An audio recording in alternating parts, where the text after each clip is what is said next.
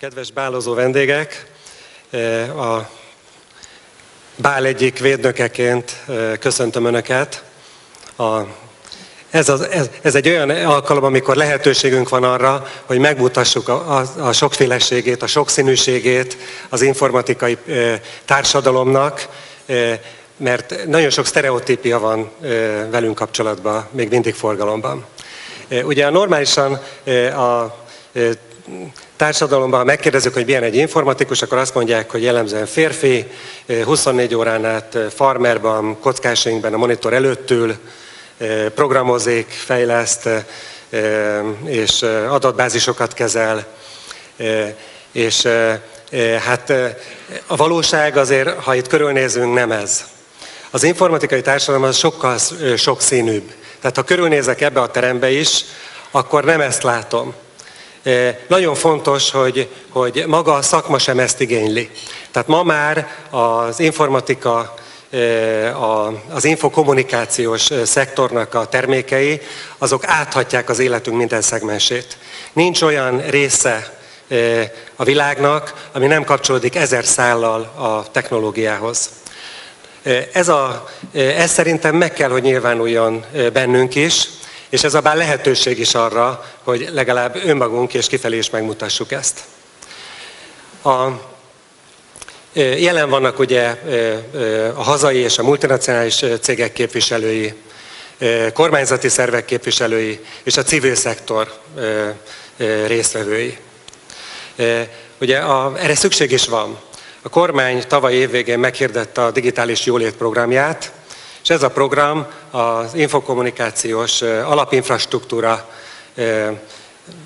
megteremtésén túl speciális területekre is koncentrál, ilyen a digitális oktatás például, vagy a, a digitális startupoknak a segítsége, segítése, illetve a, a, ugye jogi területet is be tudnék vonni, tehát például a, a, az internet adójának a, a kérdése, az adó mértékének a kérdése, vagy a, az internetes alapcsomag bevezetése. Tehát szükség is van a, a sokszínűségre, és én azt hiszem, hogy, hogy magát ezt a digitális jólétet, ezt csak összefogással és együttműködéssel tudjuk elérni.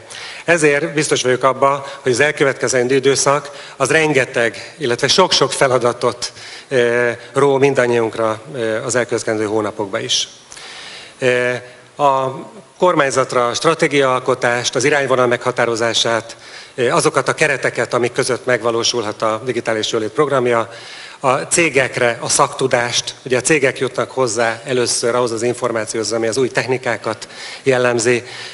Ők ismerik fel azokat a technológiákat, hogy a hazai fejlesztésekben mit kell alkalmazni, és a civil szférára is, aki pedig olyan műhelyt, intellektuális és, és szakmai műhelyt teremt, ahol tapasztalatcserére kerülhet sor, meg lehet a vitákat le lehet folytatni, ütköztetni lehet a véleményeket. És ha már a civil szektorról beszélek, akkor kihasználom az alkalmat arra, hogy gratuláljak az IVS 25 éves évfordulójához. Azt hiszem, hogy nem szorul magyarázatra az, hogy az IVS mit tett le ebben a negyed században a magyar informatikában, és általában a gazdaságban azt a rengeteg számtalan véleményt, javaslatot. Ez gyakorlatilag megteremtette, illetve hozzájárult a megteremtéséhez az informatikai szakma rangjának és fenntartásának.